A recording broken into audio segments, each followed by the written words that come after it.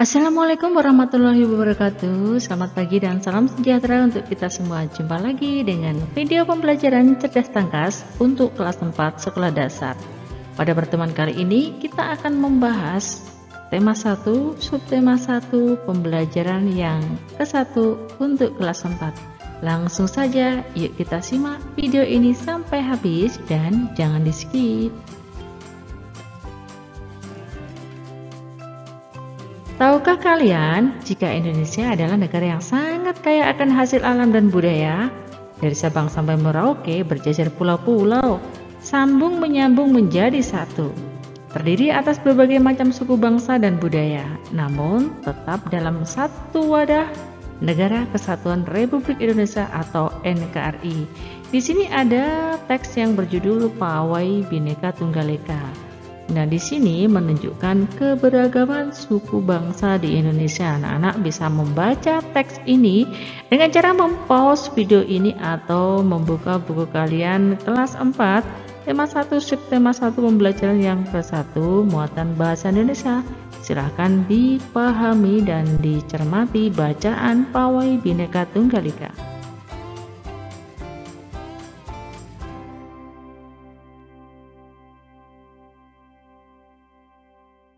Pada slide berikutnya masih membahas tentang pawai tadi ya anak-anak. Nah, di sini nampak di barisan pertama itu ada pasukan pengibar bendera merah putih. Lalu di belakangnya itu ada rombongan-rombongan yang menampilkan beragam uh, seni Sunda. Ada musik angklung dan lain-lain ya ini. Uh, kalian bisa mempause video ini supaya bisa mudah membaca atau bisa membaca di buku kalian.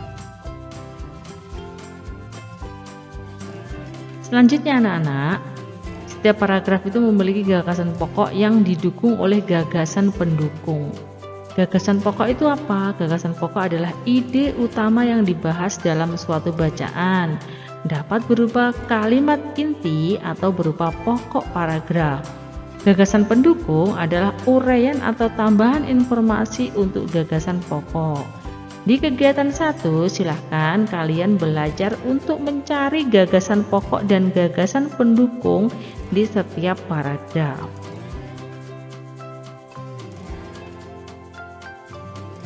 Di paragraf 2, paragraf 3 itu sama, silahkan kalian mencoba untuk menemukan gagasan pokok dan gagasan pendukung di setiap paragraf.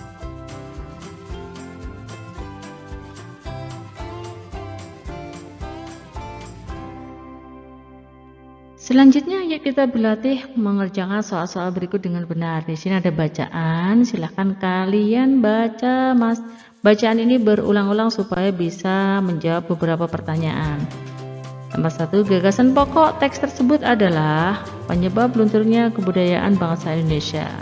Nomor dua, berdasarkan teks tersebut, kalimat yang menunjukkan gagasan pokok penyebab menurunnya ketahanan nasional adalah perselisihan antar suku.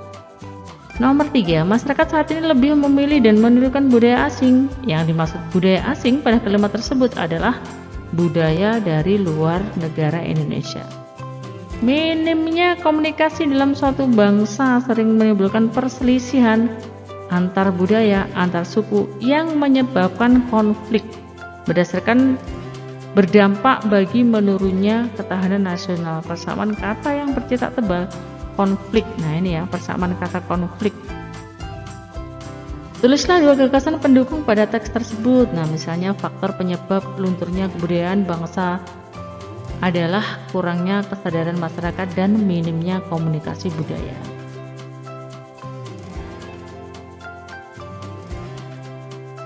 Bineka Tunggal Ika. Tahukah kalian, Bineka Tunggal Ika diterjemahkan beraneka satu itu ya itu meskipun beraneka ragam tetapi pada hakikatnya bangsa Indonesia tetap satu kesatuan itu berbeda-beda tetapi tetap satu jua semboyan ini anak-anak digunakan untuk menggambarkan persatuan dan kesatuan bangsa negara Indonesia yang terdiri atas beraneka ragam budaya, bahasa daerah, ras, suku bangsa, agama, dan kepercayaan.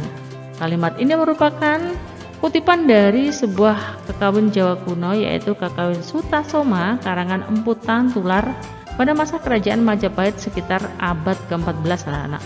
Rekaman ini istimewa karena mengajarkan toleransi antar umat Hindu Siwa dengan umat Buddha.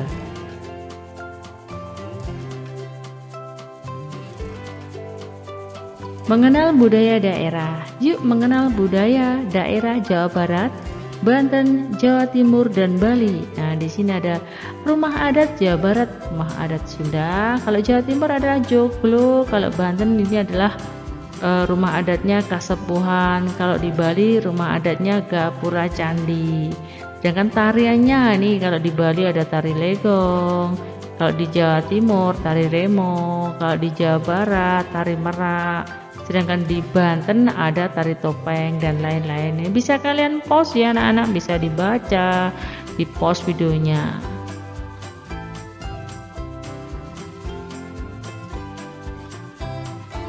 Di kegiatan 2, lengkapilah tabel berikut. Di sini diisi suku, rumah adat, pakaian adat, tarian adat, alat musik tradisional, upacara adat, dan asal daerah.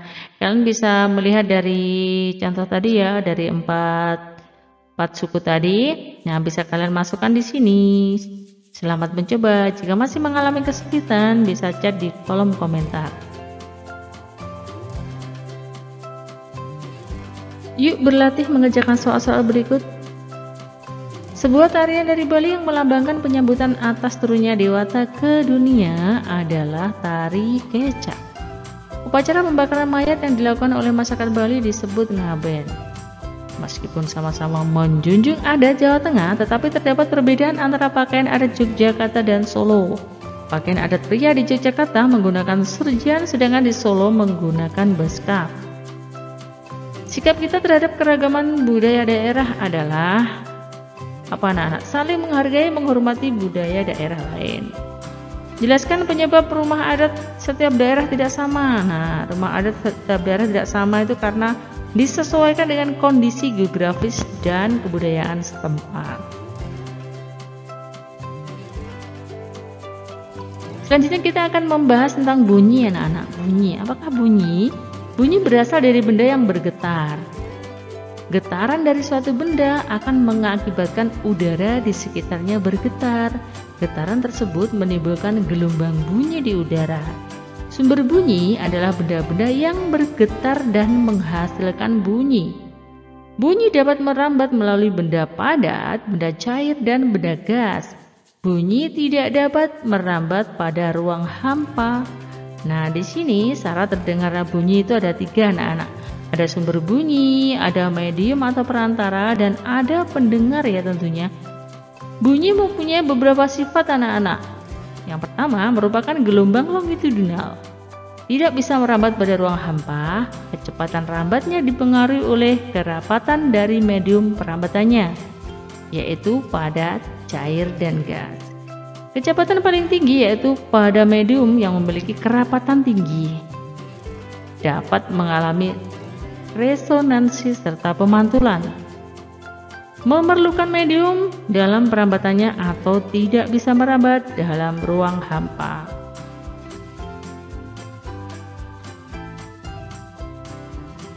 Sedangkan resonansi itu apa? Resonansi adalah bergetarnya suatu benda karena getaran benda lain. Sebagian besar alat musik dilengkapi resonator. Resonator merupakan ruang udara yang berfungsi untuk memperkuat bunyi. Sedangkan amplitudo adalah simpangan terbesar dari kedudukan setimbang. Amplitudo mempengaruhi keras lemahnya bunyi. Bunyi yang keras dihasilkan oleh benda-benda yang amplitudo getarannya besar. Di kegiatan 3, silakan kalian menuliskan nama benda dan cara menghasilkan bunyi. Misalnya di sini trompet. Trompet ditiup sehingga terjadi getaran pada bagian tertentu pada trompet dan getaran tersebut menghasilkan bunyi.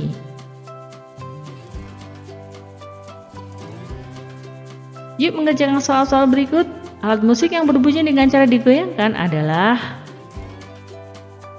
angklung. Semakin Dekat dengan sumber bunyi, maka bunyi akan bergetar semakin keras. Bagian gendang yang bergetar ketika dipukul dan menghasilkan bunyi adalah bagian permukaan yang terbuat dari kulit ya. Seruling bisa menghasilkan bunyi jika diapakan anak-anak? Iya, ditiup. Sebutkan syarat-syarat bunyi dapat kita dengar. Nah, syarat-syarat bunyi dapat kita dengar oleh manusia karena adanya sumber bunyi, ada perantaranya, ada uh, pendengarnya ya. Nah, itu tadi anak-anak pembahasan yang bisa Ibu sampaikan. Mohon maaf jika banyak kesalahan dan kekurangan. Sampai jumpa di video pembelajaran berikutnya. Ibu akhiri wassalamualaikum warahmatullahi wabarakatuh.